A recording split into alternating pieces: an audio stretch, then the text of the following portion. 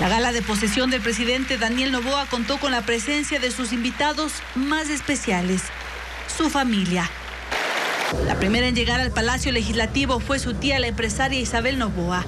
Casi seguido, arribó la madre del presidente, Anabela Asín, aunque el gran ausente de la jornada fue su padre Álvaro Novoa, político que durante cinco ocasiones intentó llegar a la presidencia.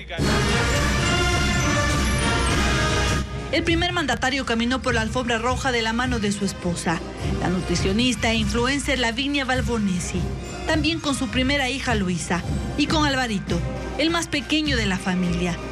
Desde su llegada, el niño acaparó las miradas por su simpatía e inocencia en medio de la solemnidad del acto protocolario. Apresurado siguió el paso de sus padres, a pesar de que se le salió uno de sus zapatos. Incluso se apoyó en el bastón de mando del general de brigada, que acompañó a la familia durante su trayecto al plenario. Una vez adentro, tomó la mano del presidente del legislativo Henry Kronfle, al que sacó más de una sonrisa. Bienvenido, señor presidente. Ya en Carondelet, aplaudió y dirigió la orquesta que tocaba el himno nacional.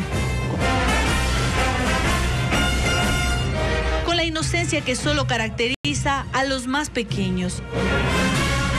La primera dama también atrajo la atención. Incluso fue enfocada más veces que el mismo presidente Novoa. Es la nueva familia que desde este jueves ocupa el Palacio de Carondelet.